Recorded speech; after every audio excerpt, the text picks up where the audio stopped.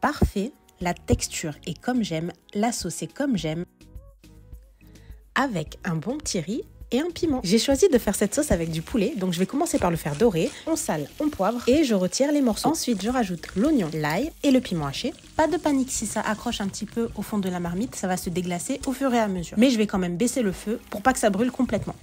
Ensuite, j'ai rajouté la tomate concentrée, je sale bien comme il faut, je poivre. Ensuite, je vais rajouter un petit peu d'eau et je vais laisser cuire environ 15-20 minutes.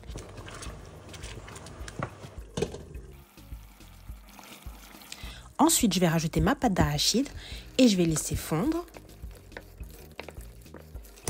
Et je vais rajouter mes épinards hachés. Là, ils sont surgelés, hein, donc je vais les laisser euh, décongeler tout simplement dans la sauce.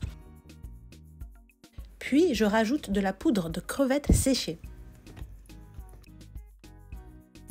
Ensuite, je rajoute un petit peu d'eau. Encore un petit peu d'eau jusqu'à obtenir une texture liquide, mais pas trop trop liquide non plus et je rajoute mes morceaux de poulet qui ont été dorés juste avant et un piment entier.